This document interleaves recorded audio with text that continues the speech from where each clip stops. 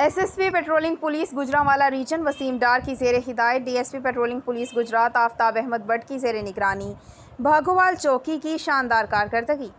incharge patrolling post Bhagwal Chaudhry Muhammad Akram, sub inspector اور A S I امجد فاروق نے دوران ناکہ بندی اور چیکنگ۔ ایک مشکوک کار نمبری ایل ای اے چھ پانچ چھ ایک کی تلاشی پر دو عدد پسٹل، تیس بور ماہ اٹھائیس روند، اسلحہ ناجائز برآمد کر کے دو کس ملزمان، سید علی قاسم اور سید علی ہارون پسرانے ناصر حسین سکنائے، شیخ چگانی گجرات کے خلاف تھانہ ٹانڈہ میں علیحدہ علیحدہ مقدمات نمبر دو سو ایک، دو سو بجرائم۔